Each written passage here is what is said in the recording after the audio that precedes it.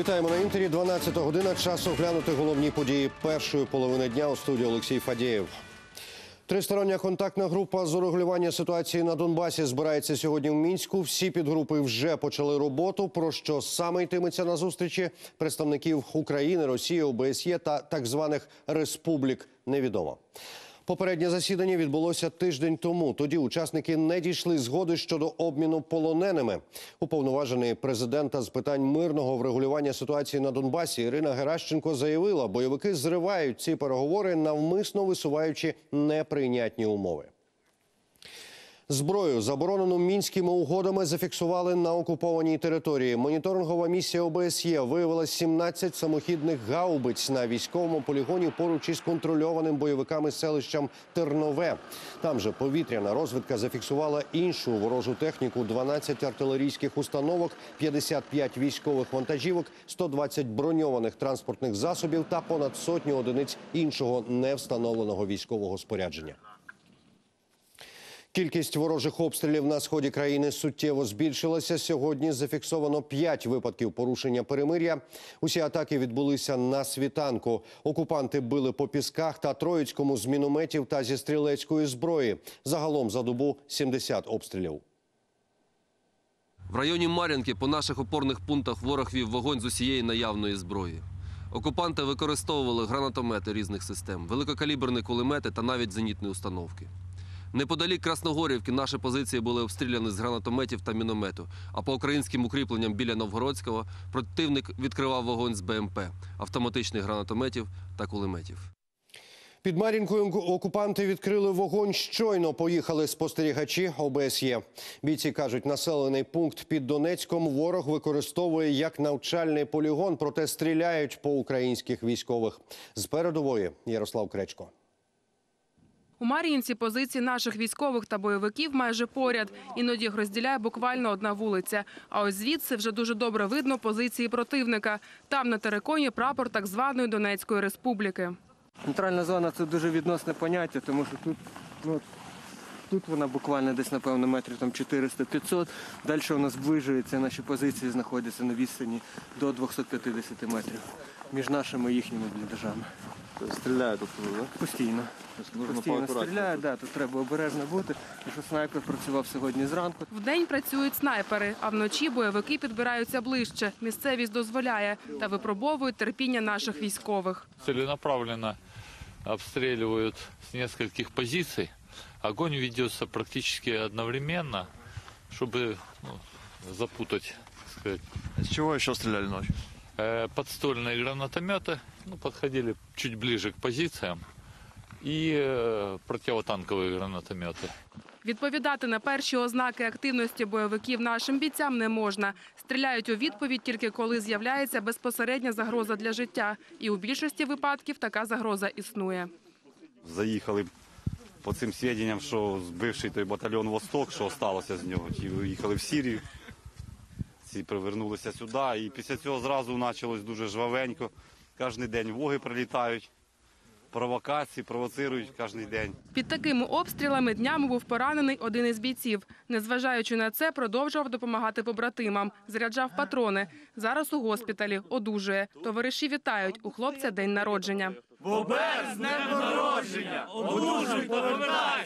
Павлина Василенко, Олександр Пантелеймонов, Ігор Сулій та Олександр Ковтун. Новини телеканал Інтер. Найважче у зоні обстрілів доводиться мирним мешканцям. Бракує не лише харчів, медикаменти, які так потрібні, особливо у період епідемії, взагалі відсутні. Людям допомагають військовики та міжнародні організації. Репортажі з водяного. Дивіться далі. Село Водяне неподалік Донецького аеропорту. Колись його мешканців обслуговували медики з сусіднього, тепер зруйнованого селища Піски. Нині шістьом десяткам людей, що тут залишились, можуть допомогти хіба що українські військові та лікарі без кордонів. Собачек нету, не скушают? Нет, у них нету. Но моя тоже не скушает. Олексій Дмитрович проводить лікарів до будинку і одразу розповідає свій діагноз. У нього цукровий діабет. У доктора давно были? У доктора был, когда еще войны не было.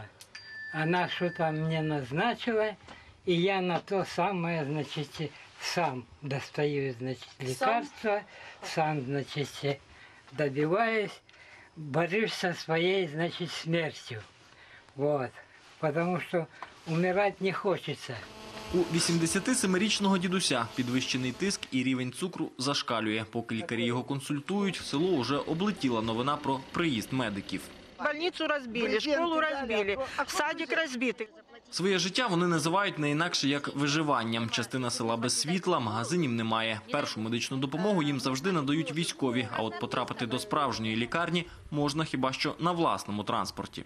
Я набрала 103, э, поднял молодой человек э, и рассказываю, что мы, мол, с Водина, значит, нам нужно скорую вызвать. А он говорит, опять повторите адрес. Я говорю, с Водина. А он говорит, ну извините, вы попали в Донецк. Очень много запущенные люди, неконтролированные хронические пациенты, особенно э, взрослые люди, взрослые. Они, конечно, легко не могут пере- перемещаться, нету транспорта, нету докторов, нету аптек. И вот именно это те места, которые мы пытаемся посещать и помогать. Тим часом саме в районі Донецького аеропорту бойовики найбільше порушують режим припинення вогню. Як і завжди, це стрілкова зброя, гранатомети. Зрідка, зрідка прилітають міни. Загалом за добу зафіксовано 44 обстріли українських позицій. Ярослав Кречко, Олександр Данілов і Анатолій Воробей. Новини телеканал Інтер. Схованку з боєприпасами виявили правоохоронці поблизу Краматорська на Донеччині. В околицях села Петрівка оперативники зі службовими собаками виявили чотири протипіхотні міни, дві тротилові шашки, набої та запал до гранати Ф1. Кілька днів тому у цьому ж районі знайшли розтяжку із гранатою, тож пошук зброї триває. Небезпечні знахідки сапери знешкоджують на місці. На Луганщині СБУ викрила поліцейського, який працював на російську спецслужбу. Інспектор збирав та передавав ФСБ інформацію про співробітників підрозділів поліції, транспортні засоби, розміщення блокпостів у зоні проведення АТО та службові документи, у тому числі з грифом таємно. Зрадникові загрожує до 15 років за ґратами. мои задачи входило сбор информации на граждан, которые будут мне указаны. Вот. Также э, осуществлял передачу документов. Значит, информация передавалась по средствам э, через интернет, посредством электронной почты. Одного з ватажків бойовиків так званої ЛНР напередодні затримали правоохоронці. Про це повідомила прес-служба Нацполіції у Харківській області. Поліцейський патруль виявив 55-річного харків'янина під час перевірки паспортів у пасажирів рейсового автобуса на одному з блокпостів у зоні АТО. Зараз його взято під варту. Бойовик перебуває в СІЗО. Міністр закордонних справ України Павло Клімкін закликає зібрати представників сторін Будапештського меморандуму. Такою була реакція на останні заяви глави МЗС Росії Сергія Лаврова, що Москва не порушувала Будапештського меморандуму, бо, мовляв, не застосовувала проти України ядерної зброї. Росія трактує угоду вибірково, так само як і мінські домовленості, вважає Клімкін. Тож запропонував Москві ще раз уважно перечитати документ та звернути увагу на пункти, які зобов'язують поважати незалежність, суверенітет і чинні кордони України. Ну, а також прописані ті е, такі гарантії, що кожна е, жодна зброя ніколи не буде використана проти України. Стримання російської агресії завдання номер один для американських військових у Європі. Напередодні європейське командування збройних сил США оновило свою стратегію на найближчі п'ять років. У документі шість основних задач, першою з яких є боротьба з загрозами у східній Європі з боку Москви. У пріоритеті також протистояння ісламській державі та пошук шляхів вирішення мігрантської кризи. 2015 рік у документі називають одним із найскладніших із часів холодної війни. Про драматичні невдачі демократії у Криму заявили в неурядовій організації Freedom House. Міжнародні правозахисники наголосили на непростій ситуації на окупованому півострові у своєму звіті про рівень свободи у світі. Дослідники твердять, у Криму жорстко придушують інакодумство, а всіх противників окупації вже заарештували або вигнали. Парламентська асамблея Ради Європи дозволила застосовувати санкції до депутатів, які їздять до Криму. У резолюції визнали незаконною таку практику обмежень щодо парламентарів. За документ проголосували 68 членів пар'є проти 8. Сам факт існування чорних списків асамблею засмутив, але там вважають неприпустимим порушення законодавства держави щодо в'їзду на її територію. У Росії розпочалося чергове засідання у справі Надії Савченко. Свої докази продовжує надавати сторона захисту. За словами адвоката Марка Фейгіна, до російського Донецька вже прибули свідки, які мають підтвердити алібі Савченко на 17 червня 2014 року. Вони виступатимуть по обіді. І нагадаємо, у понеділок суд відхилив майже всі клопотання адвокатів. Зокрема, відмовився заслухати українських військовослужбовців, які перебували разом із Савченко полоні у ЛНРівців. Не запросили священника, який раніше заявляв, що Савченко його, начебто, катувала. А експертизи іноземних фахівців суд визнав незаконними. Йдеться про звіт оператора мобільного зв'язку, що сигнали телефону Савченко фіксували далеко від місця загибелі російських журналістів. США планують створити в Україні оборонний холдинг на базі українського виробника авіадвигунів Мотор Січ. Про це повідомило французьке видання Intelligence Online із посиланням на джерела в американській оборонній промисловості. Передбачається, що Мотор Січ модернізують, а холдинг зможе самостійно ремонтувати і вдосконалювати озброєння для української армії. Нагадаємо, раніше запорізьке підприємство постачало двигуни для вантажних і пасажирських анів та навчально-бойових літаків Як-130. Кабмін ліквідував авіабудівний концерн Антонов. Рішення ухвалено у зв'язку з переходом трьох його підприємств до складу оборонного концерну Укроборонпром. Повідомили у прес-службі Міністерства економічного розвитку і торгівлі. Навесні 2015 року кабінет міністрів включив до складу Укроборонпрому держпідприємство Антонов, пізніше Харківське державне авіаційне виробниче підприємство і Київський авіаремонтний завод 410 цивільної авіації. На Черкащині горів рейсовий автобус. Займання сталося у моторному відсіку під час руху, коли в салоні були 40 пасажирів. Уже відомо, що замкнуло провода. Е, Замкнула проводка. Вибачте, випустити людей водій не зміг. Заклинило двері. Тож вибиратися із заповненого димом автобуса пасажирам довелося самотужки через вікна. Під час пожежі ніхто не постраждав. Вогонь ще до приїзду рятувальників загасив сам водій. Відсьогодні Львів на карантині у місті перевищено підпоріг захворюваності на грип та на грип та ГРВІ. Про це повідомила головний санітарний лікар міста Вікторія Вінара. За тиждень у Львові захворіли понад 6 тисяч людей. Заняття в школах призупиняють до 2 лютого, лютого включно. Ну а тим часом у столиці через велику кількість хворих на грип та ГРВІ школярам подовжили вимушені канікули до 29 січня. На Буковині за останні три тижні кількість хворих на ГРВІ сягнула 17 тисяч. Від пневмонії загинули шестеро людей, серед них молоде подружжя. Містяни панікують, масово скуповують ліки та пов'язки. Про ситуацію в регіоні Ольга Паламарюк. Від початку року у Чернівецькій області на ГРВІ захворіло понад 17 тисяч людей. У районах зачинені школи та гуртки. Запроваджений масковий режим. Карантин оголосили у 10 районах з 11. Офіційно кожен другий пацієнт – школяр. На сьогодні ми можемо говорити вже, на жаль, про шість померлих. Ще один хворий вчора помер в Сокирянській ЦРЛ. Е, Ми говоримо також про те, що підпоріг у нас в області перевищено в 2,1 рази. Лікарі працюють наднормово. На виклики виїжджають по кілька десят разів на добу. Часто навіть перепрофільовують відділення, аби вмістити усіх пацієнтів. В обласній клінічній лікарні палати заповнені практично вщерть. Шпиталізувати готові навіть в лор-центрі. У нас є наказ по лікарні, де буде йти перепрофілізація ліжкового фонду. Ми зможемо розгорнути ще додатково 95 ліжок. За рахунок загальнотерапевтичних ліжок, лор-центру і відділення грудної хірургії. Напівпорожні прилавки та дефіцит медикаментів. Фармацевти розповідають, люди масово скуповують ліки. Противірусні препарати беруть пачками. Купують е, по 10, по 6, по 5, як у кого виходить, маски купують. Мабуть, почули, що епідемпорог в Чернівцях перевищено, маски стали знову купувати більше. Питають оксалінову мазь, але її розбирають за півгодини. Та медики застерігають, не варто займатися самолікуванням чи покладатися на народну медицину. Часто в лікарню пацієнти потрапляють запізно у вкрай жахливому стані. Тож при найменших ознаках грипу радять одразу викликати лікаря. Ольга Паламарюк, Ігор Ріга, новини телеканал Інтер Чернівці.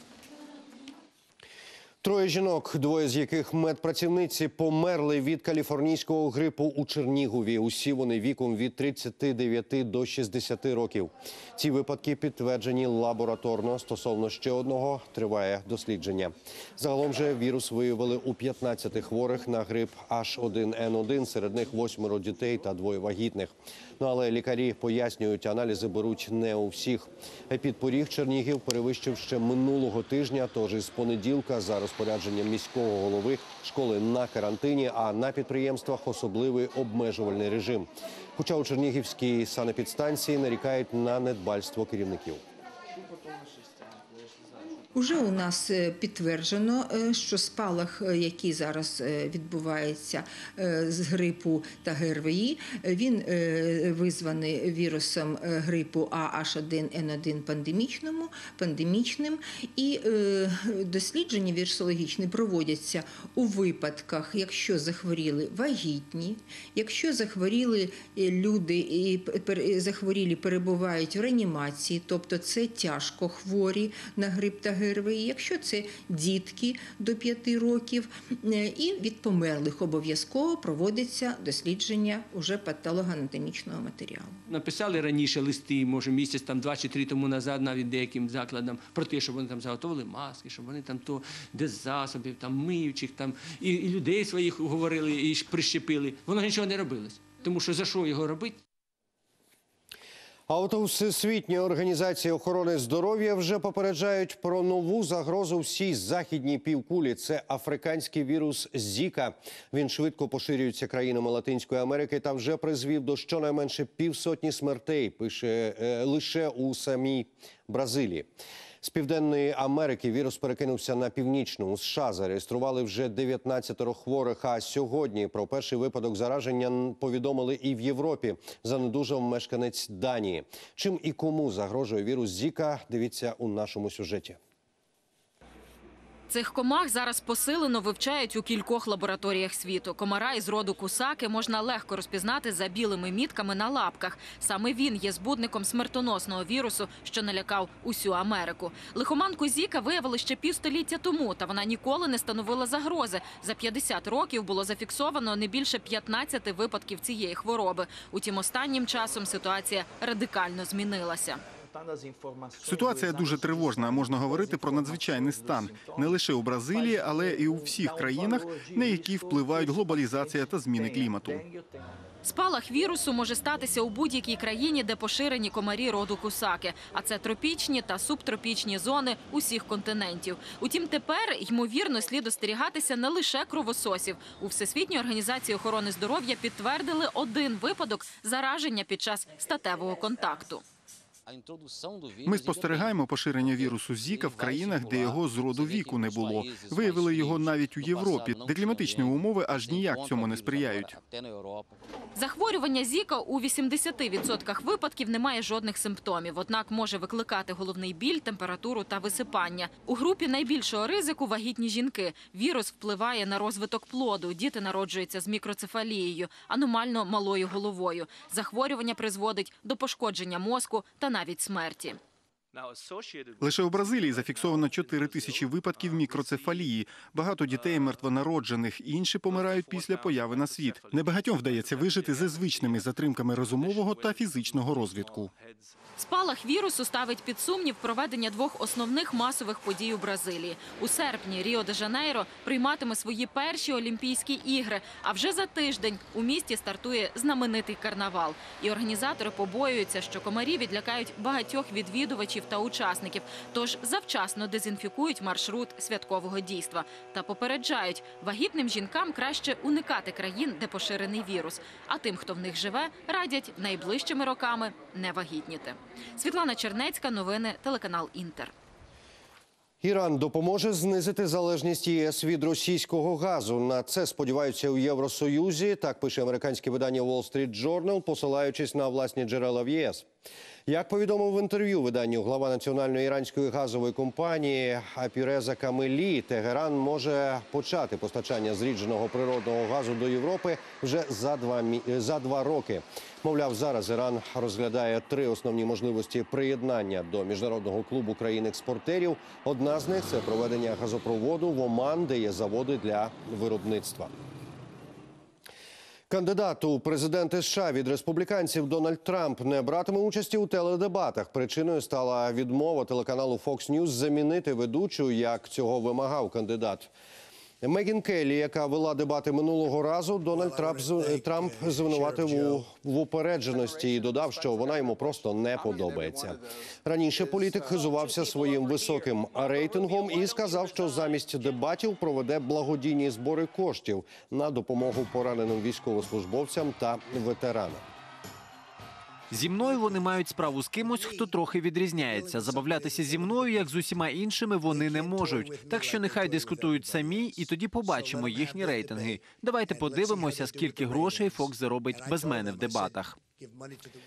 Міжнародна федерація футбольних асоціацій затвердила кінцевий список кандидатів на посаду президента ФІФА у переліку п'ять прізвищ. Серед них шейх Бахрейну та принц Йорданії.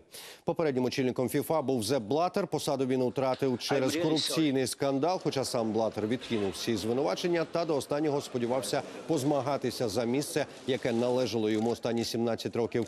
Ще одним ймовірним претендентом вважали очільника УЄФА Мішеля Платіні. Він теж до списку кандида- кандидатів не потрапив за причетність до корупції. Його теж відсторонили від футбольної діяльності. Екологічна мода від Шанель. Французький бренд яскраво виділився на паризькому тижні моди. Своїх моделей Карл Лагерфельд вивів на природу. У залі дзюрчали струмки, подіумом стали садові доріжки. Так дизайнер привернув увагу модників та модниць до довкілля та натуральності. Він уже демонстрував одяг у супермаркеті з натяком на суспільство споживання і в аеропорту. Тоді під текстом стала глобалізація. На сезон весна-літо Дім Шанель запропонував пастельні відтінки, теракотовий та бежевий, хоча кілька суконь у колекції вирізнялися яскравими абстрактними малюнками. Ви не повинні забувати, що перед тим як створити маленьку чорну сукню, Коко Шанель була королевою бежу. А я за всі 33 роки роботи ще ніколи не робив колекцію для Шанель ледь не повністю бежевого кольору. Понад три сотні гітари з цікавим минулим підуть із молотка. На аукціон у Нью-Йорку виставлять інструменти рок-зірок, а також виготовлені у єдиному екземплярі. Серед лотів раритетні гітари позаминулого століття та сучасні електричні. Покупцям запропонують інструменти американського джаз-музиканта Джорджа Бенсона, рокера Боба Ділана або ж віртуоза Еді Ван Халена. За гітару останнього прикладом розраховують отримати 60 тисяч доларів. Третина інструментів підписані колишніми власниками. Ось, наприклад, ця біла гітара позаду мене. Її створена на легендарній Мартін Компані. Таких є лише чотири. Цю зроблено спеціально для Еріка Клептона. На інструменті навіть є його автограф. І це всі повідомлення випуску. Наступний буде в ефірі о другій дня. Побачимося на все добре.